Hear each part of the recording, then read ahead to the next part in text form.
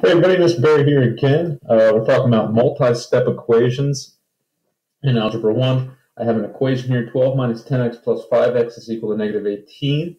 Um, you know, when we started off doing two-step equations, there were two terms on one side, one term on another side. Here I have three terms on the left side of this equation.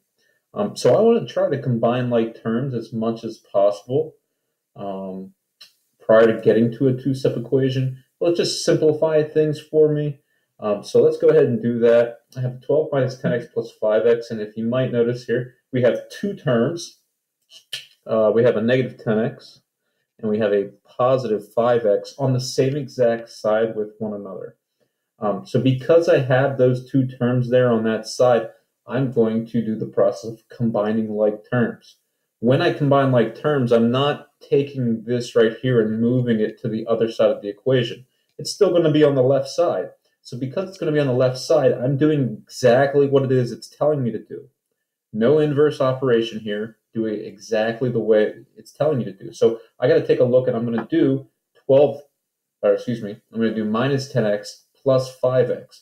So minus 10x plus 5x, negative 10 plus 5 would be negative 5x. So that was me combining these two terms right here, negative 10x plus 5x, doing exactly what it is that the problem told me to do.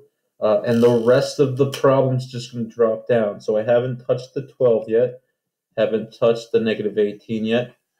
And when it comes to the step that I just achieved, remember that was me doing combining like terms. We'll go ahead and abbreviate it CLT for short, combining like terms. Now this looks like a two-step equation like we've done before in the past. All right, this is a scenario where I have a constant and a uh, variable on one side. Again, remember my ultimate goal is to isolate that variable when solving equations. So I want to take whatever constant I have to the other side. And here it's a 12. Now, eh, there's no plus or minus sign in front of it. Um, so we go ahead and assume that it is a positive 12, which means I got to subtract 12 to both sides in order to get rid of that positive 12 up there. Subtract 12 to both sides. 12 minus 12 gives me 0, which is fantastic because that now gives me the term of the variable all by itself on the left side.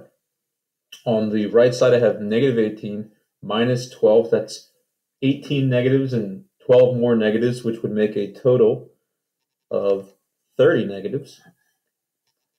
And in that step, uh, we used uh, the subtraction property of equality. So we'll make a quick note of that over here. Subtraction property of equality. We subtracted 12 to both sides.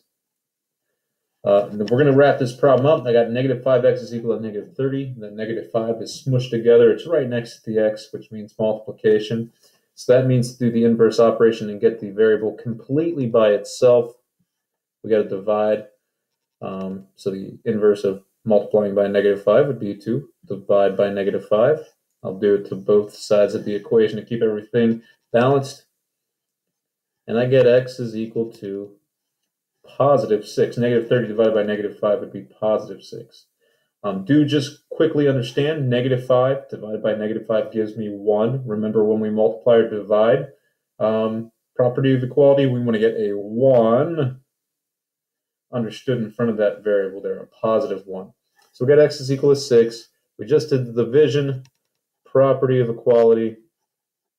And just as a quick reminder, remember it all started off by combining like terms. That got us to the spot where we could do a two-step equation and solve the problem.